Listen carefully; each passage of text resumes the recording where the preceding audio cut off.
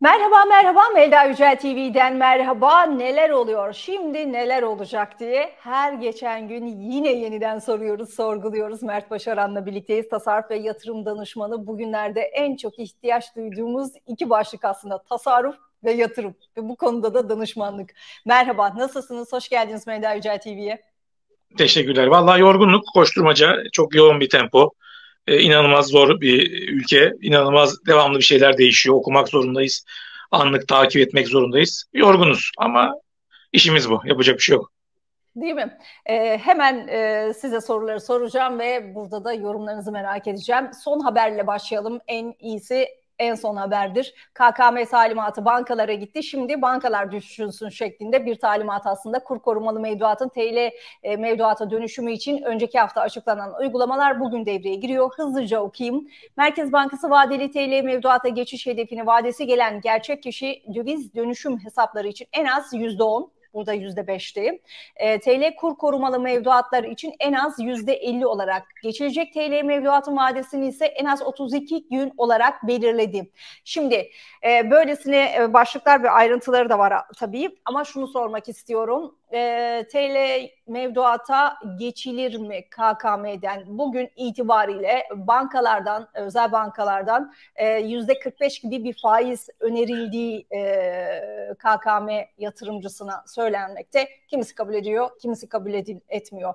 Neyi kabul eder KKM e, yatırımcısı? TL mevduata geçmek için oradaki kritik faiz oranı ne? Şimdi ne olacak? Şimdi e, bu, bu, bu kararlar e, bankacıların üzerine bir baskı. Yani mucize olarak bir KKM diye bir ürün çıkarıldı biliyorsunuz ve bütün bankacılar bu mucize için arıyorlardı bizi. Ya paranız var Mert Bey, dolarınız, altınız neyse işte lütfen KKM'ye çevirin diyorlardı. Çünkü mucize bir ürün diyorlardı.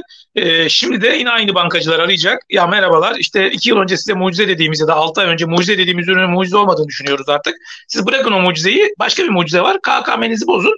İşte TL'deki mevduata dönün diyecekler. Dolayısıyla tabii çok inandırıcı olmayacak. İnandırıcı olmayacağı için çok zorlanacaklar bir kez bu. Çünkü bir 6 ay önce, bir yıl önce de çok ciddi şekilde insanlara bunun çok güzel olduğu anlatıldı.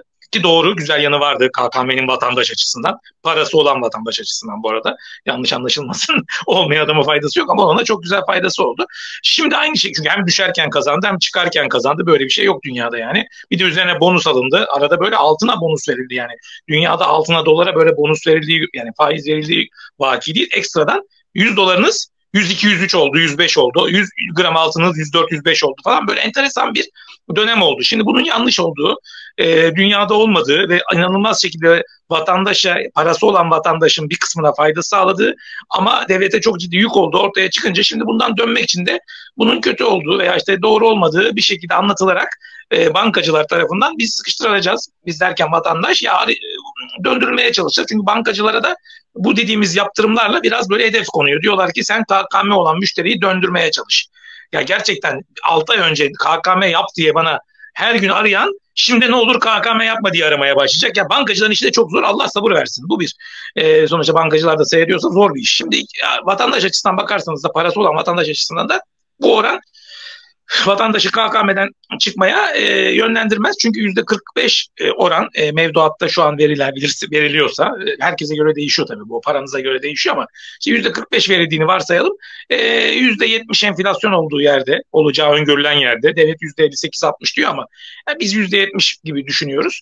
Yüzde 70 olacağı yerde yüzde 48, 45, 44 vatandaşı döndürmez. Kaç olursa döner.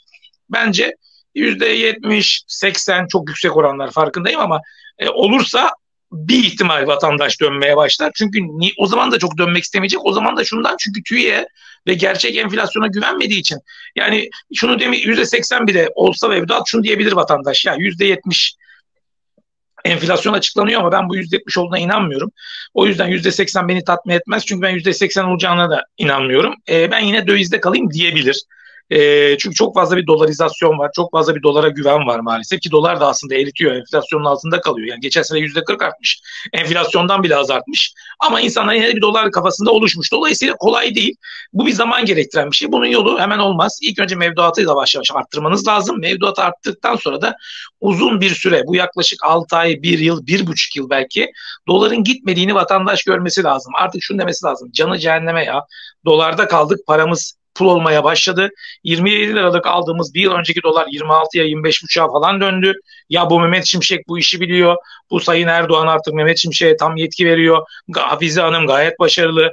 Bunlar varken bu dolar artık gitmez. E, işte reytingimiz arttı. Yurt dışından para geliyor. Ülkede bir istikrar var. E seçimler de bitti bu şey seçimlerinden de bahsediyorum. Yerel seçimler de bitti falan filan diye bir süreç olursa Bunların hepsi bir gün olursa tabii ki vatandaş niye dolarda kalsın, niye altında kalsın, e, Türk lirasına da döner.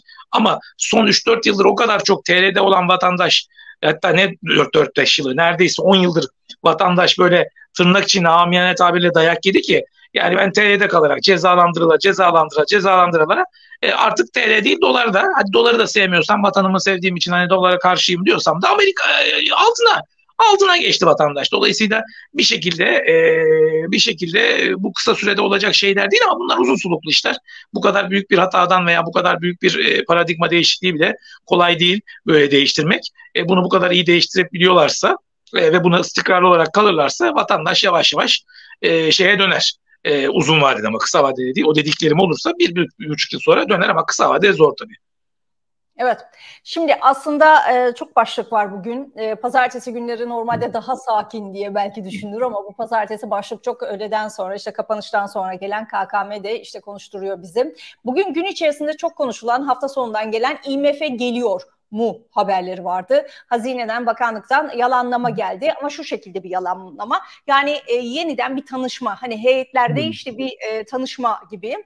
E, kulislerden gelen haberlerde e, burada aslında e, hani IMF ile bir anlaşma değil de e, daha çok e, hani bir onay mektubu gelirse hani siz de iyi doğru yoldasınız gibi algılandı. Kulislerden gelen haberler bu yöndeydi. Siz ne dersiniz? Yani IMF e, heyeti Eylül ortası geliyor.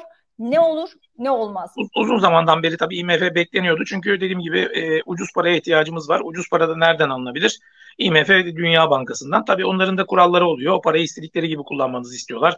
E, belli yerlere aktarmanızı istiyorlar. E, bir kısmının da haklılar, bir kısmında tabii haksızlar ama para onların olduğu için e, böyle bir e, yöntemleri oluyor. Çünkü biz onların para, e, bizim sonuçta son dönemde çok fazla yatırım da yaptık. Çok fazla israf da yaptık. Hangi taraftan baktığınıza bağlı olarak e, dolara ihtiyacımız var ülke olarak. Merkez Bankası'nın durumu da belli. Dolayısıyla IMF'ye bir ihtiyaç var gözüküyor. Uzun zamandır bilinen bir şey. Ama bunu daha önce yapılan standby'lar gibi yani bir anlaşma şeklinde değil, daha yumuşak, daha böyle Mehmet Şimşek'in zaten bence gelme nedenlerinden biri de bu. İşte bu işleri iyi yönetebilecek biri, iyi kotarabilecek biri e, daha böyle IMF ile anlaşma yapmadan e, ama yine IMF ile bir işbirliği yapıyor şeklinde e, daha böyle reytingimizin artacağı işte e, ondan sonra daha yurt dışından paranın geleceği ve e, destek olunacağı bir sürece girme ihtimalimiz var gibi gözüküyor.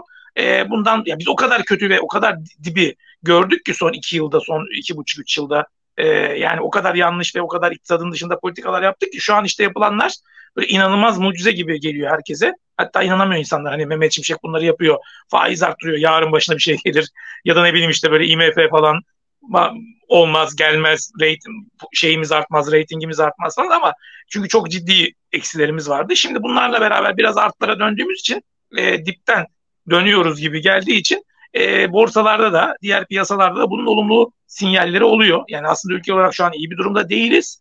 Ama o kadar kötüyü gördük ve o kadar psikolojimiz bozuktu ki şu an birkaç güzel haber bile ülke olarak hem borsaları hem vatandaşın moralini bir tık daha düzeltmeye başladı. Dolayısıyla bu IMF gelirse ve biraz olumlu, bakın anlaşma bile değil, biraz olumlu yani Türkiye artık normale dönüyor, iktisadın politikalarının gerçeklerine dönüyor gibi güzel iki söz bile, iki güzel kelam bile duyarsak e, piyasalar bir böyle art, artıya daha da gidebilir. Dolayısıyla e, iyiye gidiş yani görece olarak tekrar çünkü ekonomik olarak sıkıntımız var. E, zorduyuz. E, bilanço olarak düşünün yani Merkez Bankası olsun, ülkenin cari açığı olsun her açıdan e, eksimiz çok. Ama bu güzel sözler e, piyasada böyle bir canlanma e, yapıyor. Çünkü piyasa beklenti işidir. Borsalarda insan psikolojisi de beklenti. Yani 3 yıl sonra düzelecek, 5 yıl sonra düzelecek, çok güzel bir ülke olacak bilmem ne dendiğinde bir anda piyasalar toparlar ki daha önce de öyle oldu. Yani Avrupa Birliği'ne girecek bir dendi. Yıl 2000 yılıydı. Borsalarımız uçmuştu o zaman. Girdik mi girmedik. Ama o hayal bizi uçurmuştu. Dolayısıyla beklenti meselesi o CDS'lere düşer. Risk primi de düşer. Dolayısıyla bu IMF'nin e, sözleri veya bu işte e, reytingimizin artma durumu var deniyor. Yani notumuzun artma durumu var deniyor. Rating derken o reytingi kastediyorum. O notumuzun artma durumu önemli bir şey. Bu not da artarsa falan e daha da rahatlarız. Bu ne yapar? İşte borsalarda bir artışı zaten epey bir artış oldu. O daha da devam ettirir. E, üzerine de doları biraz daha böyle bir tık düşürmeye neden olur. E, insanların bir güveni oluşmaya başlar. Ya bunlar olursa uzun vadede, orta vadede yani bir, bir buçuk yıl içerisinde seçimi de, yerel seçimi de böyle kazası belası atlatırsak bir rahatlama görme ihtimalimiz var. Ama o zamana kadar tabii Türkiye'de bin tane şey olabilir. Bir gece ansızın bambaşka şeyler olabilir. Coğrafya, garip bir coğrafya. Bir yerde bir savaş çıkıyor, bir yerde başka bir şey çıkıyor. Bir yerde başka kararlar verilebiliyor. Her şey olabilir. Tedbirli olmak lazım. Türkiye'de yani bir saat bile çok uzun bir süre yani bir program yapmaya karar veriyoruz. Bir saat sonra bambaşka kararlar geliyor, bambaşka şeyler konuşuyoruz. Şimdilik ama bir tık olumlu gibi.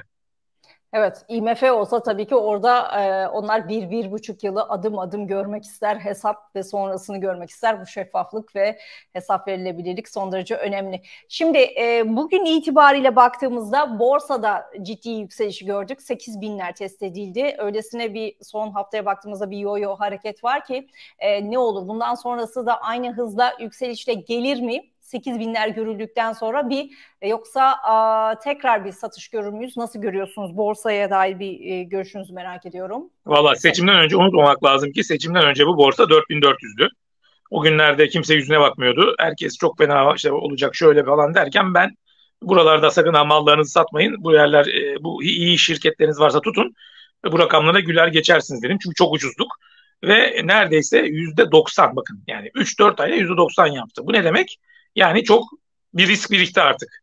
Ama bu şu demek değil yani bu risk birikti diye de takır takır düşecek diye de bir şey yok. Çünkü arada düzeltmelerini de yaptı yani 8000'den 7400'e düştü vesaire.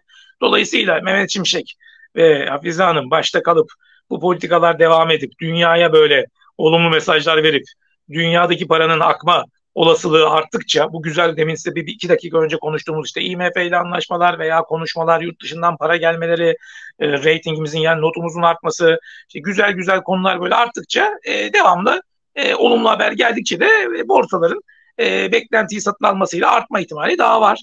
Ee, ama tabii bir anda da bir anlaşmazlık olur. Sayın Cumhurbaşkanı ile de Mehmet Şimşek bir ters bir şey yaşar. Bir anda da takır takır da düşebilir veya bir yerde başka bir kötü olay takır takır da düşebilir. Sonuç itibariyle borsa öyle bir noktada ki benim gözümde bu yatırımda üç nokta vardır Melda Hanım. E, bütün yatırım bankacıları bunu söyler. Al noktasıdır. Tut noktasıdır, sat noktasıdır. Şu an Türkiye borsası al noktası değil. Bence o nokta daha önceydi. Zaten o zamanlar söyledim. Sat noktası değil çünkü daha hala beklentiler var. Şu an tut noktası yani varsa pozisyonunuz çok satmaya gerek yok. E, satacağım diye yanmanıza gerek yok. E, ama param varsa da gidip koşa koşa da böyle almaya da gerek yok. E, çünkü alırsanız da bir anda bir düzeltme olursa da çünkü %90 arttı bir düzeltme olduğuna zarar ediyorsunuz.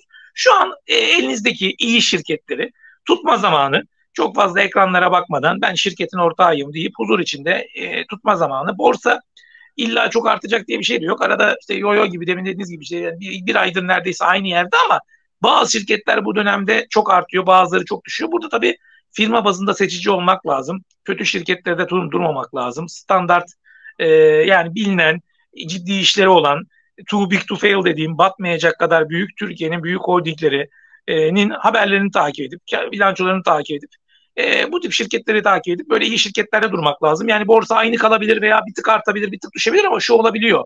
Onu unutmamak lazım. Sağlıklı bir borsa da öyle olur zaten. Yani sağlıklı bir borsada 4000'den 8000'e çıkmaz borsa. %90 gitmez. Bu sağlıksız bir borsadır. Çünkü herkes kazanır. Dünyada herkesin kazandığı bir yöntem yoktur. Onun sonunda patlar. Ama sağlıklı borsa nedir? Amerika'da da böyle, dünyada da böyle. Yani borsamız bizim 8000'den 7500'e düşer, tekrar 8200'e çıkar. Ama o arada öyle 10 tane kağıt, 20 tane kağıt bilançosu iyidir, çok artar öyle kötü bilançosu gelenler çok düşer ki bu işi bilenlerle bilmeyenler arasında bir ayrım olur. Dolayısıyla bence öyle bir döneme doğru yavaş yavaş geliyoruz. Artık borsanın böyle hiç kimsenin bilmediği abuk subuk kağıtları alan, hiç bilgisi olmayan, finansal okuryazarlığı olmayan insanların, Ayşe teyzenin veya işte genç arkadaşların bitcoin alır gibi aldığı ve para kazandığı bir dönemden çıkıp biraz daha iyi şirketleri alanların kazandığı, kötü şirketleri alanların da kaybettiği bir döneme e, girme ihtimalimiz yüksek artık. Daha böyle toptan yükseliş değil de böyle iyi şirketlerin düş, gittiği, biraz kötü şirketlerin de düştüğü. Dolayısıyla analiz yapmanın, teknik ve temel analiz yapmanın önemli olduğu günlere doğru gidiyoruz gibi gözüküyor. Dolayısıyla borsa düşecek demem. Ama borsa uçacak da demem ama iyi şirketler gitmeye devam edecek. Elinizde gerçekten iyi şirketler varsa bir yıl sonra konuştuğumuzda borsa endeksi yine aynı bile kalsa o iyi şirketiniz yine yüzde yüz yüzde yüz yirmi yapıyor zaten. Yeter ki iyi şirketi yakalayın yani. Evet, iyi şirketi yakalama e, tabii ki o da finansal okur yazarlıkla olacak şey. E, tek başına bireysel yatırımcı e, şu anda da Kolay her değil konuşurken aynen aynen yani kuaför konuşuyor işte taksi şoförü konuşuyor. Tabii ki konuşmalı bireysel yatırımcı olmalı ama e, ne kadar tavsiyelerle gider o da e, ayrı tartışma konusu. Arada şeyi kaçırmış olmayalım. E, dolar TL'de beklentiniz değişti mi? Mesela faiz kararı ile birlikte dip yaptı ama o seviyeden kimse alamadı tabii ki. Ya da gram altında gittiğinde o seviyeden kimseyi bula, kimse bulamadı. E, dolar TL'de beklentiniz e, yıl sonu beklentiniz? Ya yok şu an şu an şu an çok aşırı yok. Şu an aşırı çok değişen bir şey yok. Hatta o gün de yazdım yani dolar veya altın hani düştüyse yerine koyabilirsiniz. Çünkü satmak mantıksız dedim. Çünkü yani satıp geri almaya kalktığınızda zaten makaslar çok yüksek. Makaslardan zaten zarar ediyorsunuz. Yani yüzde iki oradan, yüzde iki oradan, yüzde dört bismillah zararla başlıyorsunuz zaten. O yüzden çok riskli. E, dolayısıyla e, doları zaten yine diyorum yatırım olarak görmüyorum ama özellikle altın veya dolara ihtiyacı olan insanların bu dönemde e, tutması mantıklı ihtiyacı olduğu için e, altını da varsa yine altın ons bazında da çok uygun olduğu için toplamak mantıklı. Esas altın çok mantıklı burada. Çünkü altın 2024'te Amerika'da faiz düşerse 1900 olan ons şu anda çok dip noktaları. Yarın gün 2100, 2200, 2300'lere gidebilir. Uzun vadede fiziki altın alıp köşeye koymak çok önemli ama dolar için alıp köşeye koyun demiyorum. Onun mantığı yok. Enflasyonu var her yerde söylüyorum. Doların artış hızı daima enflasyonun artışının altında kalıyor. Hele bir de böyle IMF vesaire notumuz falan artarsa doların artış hızı ya bakın Türkiye geçen sene en kötü döneminde en kötü döneminde dolar yüzde 40 arttı bakın geçen sene en kötü döneminde bu kadar büyük problem olan yerde enflasyonun altında kaldı, ezildi. E bir de yarın yine ekonomi toparlamaya başlarsa dolar enflasyondan daha da az kazandırır, daha da para üretir. Dolayısıyla doları sadece ihtiyacı olan, mecbur olanlar, yurt dışına iş yapacak insanlar tutsun ve o dönemde de e, arada düşüşler de olsa çıkışlar da olsa böyle çok büyük düşme imkanı yok. Çünkü hem açığımızdan dolayı hem ithalat ihracat dengemizden dolayı hem de e, asgari ücret dolar bazı hesabına baktığımızda böyle doların aşırı düşmesi ekonomiyi zorlar. Zaten bunu bizim ülke de istemez. Yani ülke derken ülke ekonomi yönetimi de işi bilen Mehmet Şimşek gibiler de istemez. Dolayısıyla doların art düşmesi değil bizim beklememiz gereken hayalimiz olan şey şu Melda Hanım. Doların aynı kalması. Sağlıklı olan doların düşmesi değildir. Dolar bu saatten sonra bakın her yerde söylüyor 27'den 15'e düşse faizi %200'e çıkarsa Cumhurbaşkanı bir çılgınlık yapsa Mehmet Şimşek ya da ülkeyi batırırız yani. Faizi bırakın yani dolar, bu kadar büyük asgari ücretle fabrikalar kapanır. Çünkü dolar bazı çok yüksek olur. Veya bir sürü ithalatçı, ihracatçı mal aldığı için, mal sattığı için dengesi bozulur. Dolayısıyla doların çıkması çok kötüdür ama düşmesi de bir anda çok kötüdür. Doların çıktıktan sonra durması lazım. Bu 2000 e, bu 2001'de krizinde Ecevit zamanındaki o krizde de mesela dolar o dönem bir buçuklara çıktı. Bir buçuk milyonda o zaman. Ondan sonra bir daha asla 600'den çıktı. Asla 600'e düşmedi. Ama oralarda kaldı. Ben doların o yüzden düşmesini unutmak lazım. Dolar düşmesi diye bir söz bırakalım. Doların aynı kalması. Yani 27'den 26, 25, 24'lerde böyle bir 3-5 yıl kalsa bu ülke için en güzeli. Doların 15'e düşmesi değil güzel olan. Bunu da anlamak lazım. Dolayısıyla inşallah dolar doğru hareketler yaparlar da dolar böyle bir uzun süre sabit kaldığı bir döneme gireriz. O zaman zaten enflasyon da düşer. Vatandaşın e, TL'ye güveni de artar. Ülkenin durumu bambaşka noktalara gelir. Bu da işte istikrarlı olur. Doğru ekonomi yönetimiyle olur. Ekonomik dengelere, gerçeklere uymakla olur. E, ee, KKM'de kalmak için aslında koşullar da yerinde gibi. KKM'de kalacak da çok gibi. Buna dair son bir e, yorum. Valla KKM'yi bozmak için mantıklı değil. Bence KKM'de kalınır. KKM'yi tutma, bozmak şu anda çok mantıklı değil. E, ama KKM'de mümkün olduğu kadar yine diyorum. Dolar KKM değil altın KKM'de kalın. Dolar KKM'de kalırsanız da paranız dolar bazında aynı kaldığı için enflasyonun altında kalıyor. E, dolar tutmayıp altın tutmak. Dolar sat altın al. E, daha mantıklı olabiliyor böyle dönemlerde. Aklınızda olsun. E, bir de yine diyorum e, doğru yerde doğru fiyatla e, doğru toprak yatırımı yapmak her şeyden çok kazandırıyor tüm bu yatırım araçlarının dışında ama doğru hikayesi olan yer, beklentisi olan yerde böyle her gördüğünüz yerde değil çünkü en çok orada kazanç oldu. Yani en çok balon orada oluştu. Toprak inanılmaz uçtu. Yani son 3-5 yılda yani bir yıl önce 30 bin liralık yerler bugün 1-1,5 milyona çıktı böyle. inanılmaz yani Bitcoin gibi oldu bu toprak bazı yerlerde. Dolayısıyla Kırklareli Edirne falan depremden sonra uçtu. Dolayısıyla toprak yatırımı her zaman çok kazandırır ama orada da biraz daha selektif olmak lazım. E, zor bulunan, emsali olmayan, az bulunan doğru yerlerde yatırım yapın. Standart her gördüğünüzü almayın. Biraz fırsat yer olursa alın yani. Evet. Bakalım süreç nasıl işleyecek diyelim o zaman. Bugün için çok teşekkürler Mert Başaran. Teşekkür tasarruf ve yatırım danışmanı. Bugünlerde nasıl tasarruf edeceğiz? Önemli bir başlıktı. Tasarruf etmeyi başarmışlar için de nasıl yatırım yapacağız? O da diğer yandan önemli başlıktı. Mert Başaran, Melda Yücel TV'de yanıtladı. Çok teşekkürler. Umarım iyi haberlere. İzleyicilerimize de şimdiden teşekkürler diyelim. İzledikleri için abone olmayı da unutmasınlar. İyi haberler. Sağ olun. Teşekkürler. İyi haberler.